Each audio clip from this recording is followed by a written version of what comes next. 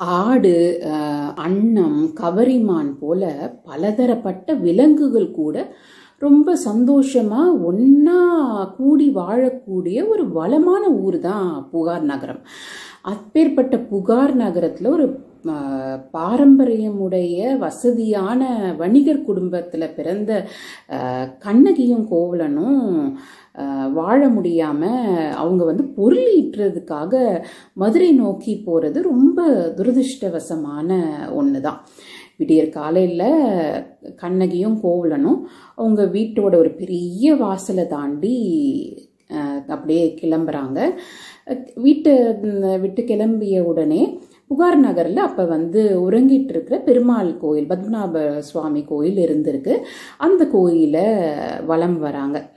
வலம் வந்த உடனே புத்த விகாரங்கள் இந்திர விகாரங்கள் இருந்திருக்கு. ஒரு ஏழு இந்திர விகாரங்கள் இருந்திருக்கு புகார் நகரில். புத்தர் வந்து போதி மரத்தடியில் நமக்கு நிறைய அறநெறிகளை வந்து சொல்லியிருக்கிறாரு. இந்த அறநெறிகளை அந்தரசாரிகள் என்ற பௌத்தர்கள் வந்து சாதாரண மக்களுக்கு வந்து எடுத்து சொல்லுவாங்க. அவங்க வந்து இந்த இந்திர விகாரகங்க விகாரங்கள்ல இருந்து தான் வந்து நமக்கு வந்து எடுத்து சொல்லுவாங்க. இந்த ஏழு இந்திர விகாரங்களையும் கோவலனும் கண்ணகியும் தரிசனம் பண்றாங்க. எப்படி பெருமாளுக்கு ஒரு கோயில் பௌத்தர்களுக்கு வந்து ஒரு இந்திர விகாரங்கள் எல்லாம் புகார் நகர்ல இருந்ததோ அது போல மிக கடுமையான வாழ்க்கை நெறிகளை கொண்ட சமணர்கள் வணங்கும் அருகருக்கும் வந்து புகார் நகரில் ஒரு கோயில் இருந்திருக்கு. அருகர்கள் சமணர்களில் ரொம்ப உயர்ந்த நிலையில் கருதப்படுற பஞ்ச பரமேட்டிகள்ன்றவங்களோட தங்குற இடங்கள் அங்கே இருந்திருக்கு. அந்த இடங்கள் வந்து சேர்ற இடத்துல ஒரு பெரிய மன்றம் இருந்திருக்கு. அந்த மன்றத்து பக்கத்தில் அப்படியே பூத்து குலுங்குற ஒரு அசோக மரமும் இருந்துதான். இவங்களுக்கு சமணர்களுக்கு ஒரு நம்பிக்கை இருந்திருக்கு. வருஷந்தோறும் இங்கே நடக்கிற தேர் திருவிழா திருமஞ்சின நீராட்டு விழா அப்பெல்லாம் வந்து வானத்தில் இருந்து சாரணர்ன்றவங்க கீழே வந்து கீழே வருவாங்க அப்படின்னு. அதனால் அவங்களுக்காக கல்லாலான ஒரு ஆசன மேடையை வந்து போட்டிருப்பாங்க. அந்த ஆசன மேடைக்கு சிவாத்தலம்னு பெயர். கண்ணகியும் கோவலனும் இந்த சிவாத்தலத்தையும் வலம் வராங்க.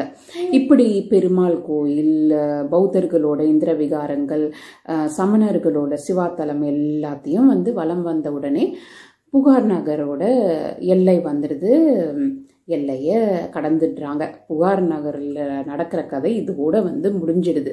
இனிமேல் கொஞ்சம் இருக்கிறது சோழ நாட்டோட செய்திகள் தான் இப்படி புகார் நகர எல்லையை வந்து கடந்த உடனே இளவந்திகைன்னு ஒரு சோலை வருது. அங்கே நல்ல நிழலெல்லாம் இருக்குது நிறைய மரங்கள் இருக்குது தென்றல் காற்றெல்லாம் சூப்பராக வீசுது. அந்த பயணம் அவங்களுக்கு ரொம்ப கம்ஃபர்டபுளாக தான் இருந்திருக்கும்னு நினைக்கிறேன். அது முடிஞ்ச உடனே அந்த காலத்தில் காவிரி நதிக்கரையில் மக்கள் நீராடுறது வழக்கம். அதனால் அதை ஒட்டி வந்து வென்ற பாதை வந்து போட்டு வச்சுருப்பாங்க. நிறைய மரங்களும் அங்கே இருந்திருக்கும். அந்த பாதையையும் ரொம்ப சுலபமாக வந்து கடந்து வந்துடுறாங்க. அதன் பிறகு மேற்கு நோக்கி நடக்க ஆரம்பிக்கிறாங்க. அதாவது வெஸ்ட் டைரக்ஷனில் நடக்க ஆரம்பிக்கிறாங்க. அப்படி அவங்க வந்து நடந்து வரும்போது காவிரியோட வடகரையை வந்து அவங்க கடந்துடுறாங்க. இதன் பிறகு அவங்களுக்கு பயணம் கொஞ்சம் கஷ்டமாக தான் இருந்திருக்கும்னு நினைக்கிறேன். நடக்கிறாங்க நடக்கிறாங்க. ரொம்ப கஷ்டப்பட்டு தான் கண்ணகி வந்து நடக்கிறா. ஒரு ஒரு காத தூரம் நடந்திருக்கிறாங்க. அதாவது ஒரு பத்து மைல் நடந்திருக்கிறாங்க. கண்ணகியால் முடியவே இல்லை. அப்படியே ரொம்ப டயர்டாயிடுறா நல்ல வேலையாக ஒரு தவச்சாலை வருது. ஒரு ஆசிரமம் வருது. அதை சுற்றி நிறைய மரங்கள் எல்லாம் இருக்குது அந்த மரங்கள்ல அப்படியே போய் இலைப்பாடுறாங்க கண்ணகி மெதுவாக கோலனை பார்த்து கேட்குறான் நீங்கள் சொன்னீங்களே மதுரை அது இன்னும் எவ்வளோ தூரம் இருக்குது அப்படிங்கிறான் கோவலன் சொல்கிறான் இன்னும் முப்பது காத தூரம் இருக்குது அப்படிங்கிறான் முப்பது காத தூரம்னா ஒரு முந்நூறு மைல் இருக்கும். இன்னும் இவங்களோட பயணம் வந்து ஒரு பயணத்தோட ஒரு கிட்டத்தட்ட ஒரு ஒன் பர்சன்ட் தான் இவங்க வந்து கவரே பண்ணியிருக்கிறாங்க.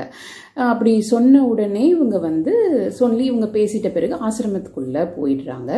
நான் வந்து கூகுளில் வந்து ஒரு சும்மா சர்ச் போட்டு பார்த்தேன். புகார்லேருந்து மதுரை வந்து எவ்வளோ மைல்ஸ் இருக்கும்னு. இப்போவும் வந்து ஒரு இரநூத்தி நாற்பது மைல் தான் வந்து கூகுள் காட்டுச்சு. அப்பவும் வந்து கிட்டத்தட்ட ஒரு முந்நூறு மைல் முப்பது காத தூரம்ன்றது ஒரு முந்நூறு மைல் வருது.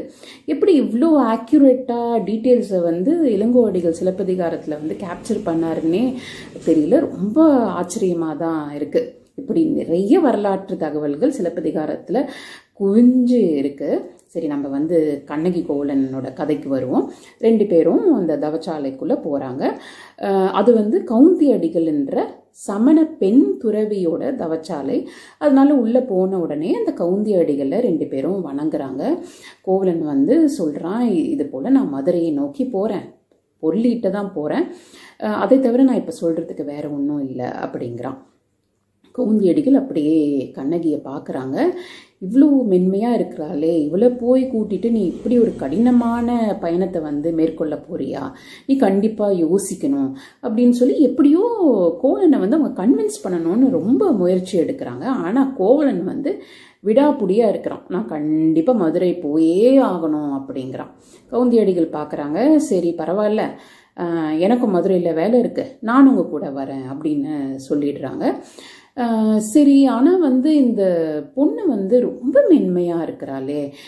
இவ வந்து எப்படி வந்து இந்த கடுமையான வெயிலில் வந்து இந்த பயணத்தை வந்து மேற்கொள்வா அப்படின்னு கவுந்தேடிகள் சொல்கிறாங்க சோலை வழியாக போகலாம் ஏன்னா சோலை வழியாக போனால் நிறைய மரங்கள் இருக்கும். கொஞ்சம் குளுமையாக இருக்கும் இல்லையா? அந்த வழியாக வந்து போகலாம் ஆனால் இந்த சக்கரவள்ளி கிழங்குகளை எல்லாம் அங்கே தோண்டி வச்சுருப்பாங்க. அதனால் நிறைய குழிகள் இருக்கும். அந்த குழிகளில் அங்கே இருக்க செண்பக மரத்தில் இருக்கிற மலர்கள் எல்லாம் வந்து விழுந்திருக்கும். அந்த பூக்கள் எல்லாம் அப்படியே பழசாகி அப்படியே நம்மளை வந்து நம்ம தப்பி தவறி அந்த இடத்த அந்த குழியில் வந்து காலை வச்சிட்டோம்னா நம்மள அப்படியே வழுக்கி விட்டுருவோம் இவரோட நிலைமை என்ன ஆகுறது? சரி இந்த குழியிலிருந்து கொஞ்சம் தள்ளி வந்து நடக்கணும் அப்படின்னு நினச்சாலும் நிறைய தேன் சொற்ற பலாப்பழங்கள் வந்து அங்கங்கே வளர்ந்துருக்கும். அது இவ தலையில் வந்து விழுந்துட்டா என்ன பண்ணுறது பக்கத்தில் இருக்கிற இஞ்சி மஞ்சள் காட்டுக்குள்ளே நடந்து போகலான்னு பார்த்தா அப்பையும் வந்து இந்த பலாப்பழங்களோட விதைகள் எல்லாம் கொட்டைகள் எல்லாம் அங்கே விழுந்து இவளோட காலை எல்லாம் வந்து உறுத்தும் இப்படி சோலை வழியாக போனால் இவ்வளவு இடைஞ்சல்கள் வந்து இருக்குது அவ்வளோ மென்மையானவ கண்ணை அழகி அதனால இதெல்லாம் வந்து அவங்க சொல்கிறாங்க வயல் வழியாக போகலாம் ஆனால் அங்கே என்ன நடக்கும்? இந்த கயல் மீன்கள் எல்லாம் வாழை மீன்களை துரத்தும். இந்த வாழை மீனை வந்து அந்த நேரம் பார்த்து நீர்நாய் வந்து பிடிக்க வந்து ட்ரை பண்ணோம்.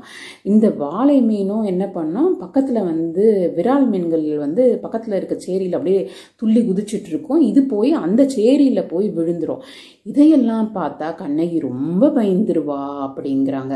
ஒரு மீன் வந்து அங்கங்கே துள்ளி தாவி விளையாடுறத பார்த்தா கூட கண்ணகி வந்து பயந்துருவானா? எந்த அளவுக்கு ஒரு மென்மையான சுபாவம் உடையவளா அவள் இருந்திருப்பா பின்னாடி அவள் எப்படி விஸ்வரூபம் எடுக்க போறான்றதையும் நம்ம வந்து பார்க்க போறோம். அப்புறம் சொல்கிறாங்க சரி கரும்பு தோட்டம் வழியாக போகலாம் ஆனால் அங்கே நிறைய தேன் கூடுகள் இருக்குது அதுலேருந்து வர்ற தேனெல்லாம் அப்படியே ஆறில் இருக்கிற தண்ணியோட வந்து கலந்துரும். அந்த தண்ணியை நம்ம வந்து குடிக்க வேண்டி வந்துடுமே அப்படின்னு சொல்கிறாங்க அது ஏன் நான் நினைக்கிறேன்னா அவங்க ரொம்ப கடுமையான வாழ்க்கை நெறிமுறைகளை வந்து கடைப்பிடிக்கிறவங்க. தேனை கூட வந்து சாப்பிட மாட்டாங்க போல். இது தவிர எனக்கு இதுக்கு வேறு எந்த காரணமும் தெரியல. சரி பக்கத்தில் வந்து வயல்களில் இருக்கிற வயல்களில் வந்து குவளை மலர்கள் எல்லாம் வளர்ந்துருக்கும். அதாவது வயல்களில் நடு நடுவில் குவளை மலர்கள் லில்லிஸ் எல்லாம் வளர்ந்துருக்கும். இந்த விவசாயிங்க என்ன பண்ணுவாங்க? அந்த குவளை மலர் மலர்களை எல்லாம் களை பறிச்சிடுவாங்க ஏன்னா இந்த செடிகள் நல்லா வளரணும் வயலில் இருக்கிற நெல்லெல்லாம் நல்லா வளரணும்னு இந்த குவளை மலர்கள் எல்லாம் பறிச்சிடுவாங்க. பறிச்சுட்டு என்ன பண்ணுவாங்க? வரப்பில் வந்து போட்டுருவாங்க. நம்ம அந்த வரப்பு வழியாக போகலான்னு நினச்சா இந்த கோலை மலர்களில் இருக்கிற தேனுக்காக வண்டுகள் எல்லாம் வந்து அதை வந்து மொய் மொய் மொய்ச்சிட்ருக்கோம் அப்படி மொய்க்கும் வண்டுகள் எல்லாம் அந்த தேனை வந்து அப்படியே பருகி ஒரே மயக்கத்தில் வந்து இருக்கும். நம்ம தெரியாதனமாக அந்த வண்டுகளை போய் வந்து மிதிச்சிட்டா என்ன ஆகுறது பெரிய பாவம் நமக்கு வந்துடும் இல்லையா அப்படிங்கிறாங்க. சரி வாய்க்கால் வழியாக போகலான்னாலும் அங்கே வந்து நத்தைகளும் நண்டுகளும் இருக்கும். நம்ம கால் அது மேலே பட்டுச்சுன்னா அதனாலையும் நமக்கு பெரிய பாவம் வந்து சேருமே. இந்த சோலையும் வயல்கள் வய வாய்க்கால் எல்லாம் விட்டால் நமக்கு வேறு வழியே கிடையாது. நம்ம இப்படி தான் போய் ஆகணும் அப்படிங்கிறாங்க. கண்டிப்பாக வந்து இன்றைக்கி இருக்கிற மாதிரி ஒரு ஹைவே ஒரு பெருவழி அந்த காலத்தில் அதை பெருவழின்னு தான் சொல்லுவாங்க. ஒரு பெருவழி வந்து இருந்திருக்கும். இவங்க சொல்கிற மாதிரி கண்ணகியால் ரொம்ப வெயில் தாழ முடியாதுன்றதுனால அதை அவாய்ட் பண்ணியிருக்கலாம் இல்லை ஒரு பெரிய வணிகர் குடும்பம் இவங்க வந்து இப்படி தனியாக வந்து போகும்போது மக்கள் போயிட்டு வர மக்கள் இவங்க ரெண்டு பேரையும் பார்த்துருவாங்கன்னு சொல்லி அந்த வழியை வந்து அவங்க அவாய்ட் பண்ணியிருப்பாங்கன்னு நினைக்கிறேன். சரி டிசைட் பண்ணி கவுந்தியடிகள் சொல்கிறாங்க வேறு வழி இல்லை இப்படி தான் நம்ம போய் ஆகணும். ஆனால் நீ என்ன பண்ணு? கண்ணகி கிட்ட தெளிவாக சொல்லிடு. இந்தந்த வழியில இதெல்லாம் இருக்கும். ஜாக்கிரதையாக வான்னு தெளிவாக சொல்லிடுன்னு சொல்லிடுறாங்க. சொல்லிட்டு கிளம்புறாங்க. க- கிளம்புறதுக்கு என்ன பண்ணுறாங்க ஒரு சமண துறவின்றதுனால ஒரு பிச்சை பாத்திரத்தை வந்து எடுத்துக்கிறாங்க. ஒரு துணியில் அப்படியே முடி போட்டு ஒரு உரியாக வந்து அதை வந்து ஒரு பையா யூஸ் பண்ணிப்பாங்க. அதை வந்து தோலில் வந்து போட்டுக்கிறாங்க.